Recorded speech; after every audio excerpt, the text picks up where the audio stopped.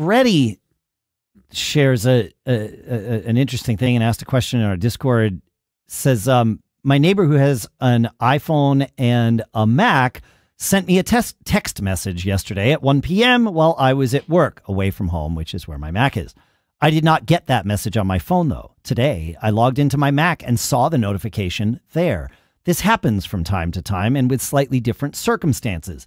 My Mac and iPhone are both signed into iCloud under the same account, and I only have one iCloud account.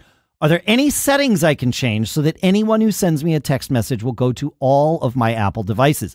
And there was a fantastic conversation in Discord that transpired long before I even got there, which I love.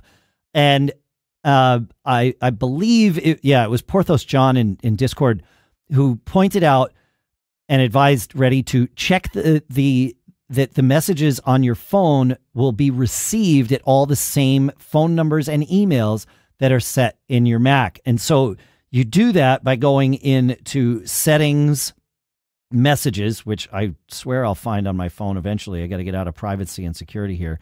But uh, yeah, go to settings, messages, and then send and receive there. And you will see a list of all of, of presumably your phone number and then all of the email addresses that are linked to your iCloud account. And you can link new ones at iCloud.com slash mail, I believe. Or maybe it's just in your in the, the sort of the top level of your iCloud account.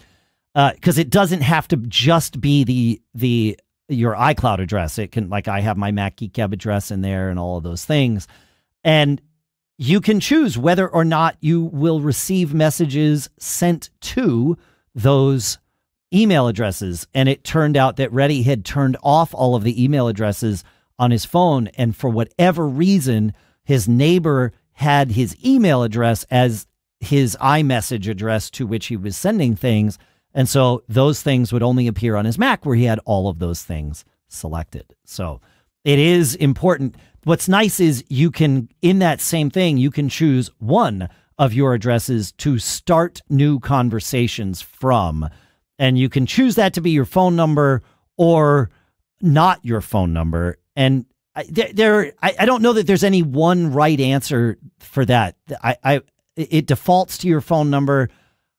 Uh, it, it, so that's what a lot of people use. It's what I use, but I have noticed when I'm traveling internationally or something, it's like, oh, I wish I had sent it for people to use like my my uh, you know uh, one of my email addresses Although iCloud's pretty smart and it'll get it to your phone even if that SIM is offline because it knows you're logged into that iCloud account. And so your phone number becomes this sort of representation of you, not your actual, like, you don't need that phone online. So it gets a little weird. But like when my daughter moved to Italy and gave up her US phone number, and you know now she has an Italian phone number for her phone, and she pays eleven dollars a month for 150 gigs of super high speed data, which is awesome for her.